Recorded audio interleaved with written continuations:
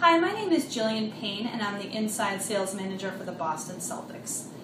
Last year, we worked with Bill to help train our new sales team and get them up to speed with all of our different ticket products. Um, we really enjoyed Bill because he made every session interactive, and it was great having the group go back and make calls and then come back and talk about how to overcome the objections that they just heard on the phones. Uh, we definitely plan on using Bill again as we achieved our sales goal six months into our nine month program and finished the year at 109% of our quota. And we'd be happy to recommend him to other teams and answer any questions you may have as well. Thank you.